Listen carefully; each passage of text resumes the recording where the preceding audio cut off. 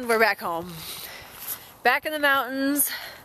The snow, look, the, look at the roads. There's no snow. The snow's melted. It's been like in the 70s and uh, warm while we were gone, so it's nice. I'm in a tank top. Happy to be welcoming spring to Colorado, and we're gonna go do some fartlek running. My favorite. so, yeah, I got a bike companion today. Hello. Say hey. So that should help entertain me. See if he can keep up with his mom. It's getting green. The horses are out. The mountains are still snowy.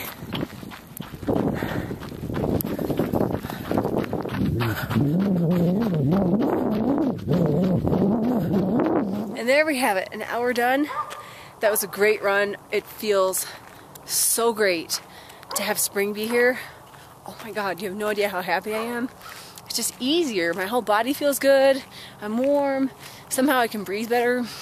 I don't know if cold air is harder to breathe or what, but uh, felt great. Now David's gonna go for a run, so I'm gonna pass the camera to him and let him entertain you with his flat run. It better be flat, David. David Martin, it better be a flat run. Okay, 35 to 40 minute run. I heard the boss has said that I can only go on flat areas. We live in Colorado. How are we going to do this?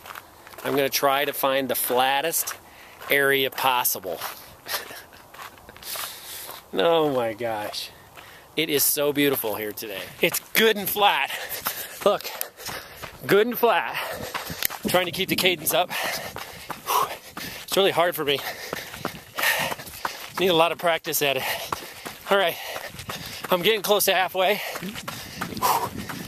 Ooh, big difference between here and the Bahamas, let me tell you. All right, doing well, doing well. Flat, this is all flat. Nice and flat, like prescribed. 41 minutes. Oh my God, I'm tired. I got to cool down, a little shower, a little recovery drink, and I should be good. I'm telling you, keeping that cadence really high for me is hard.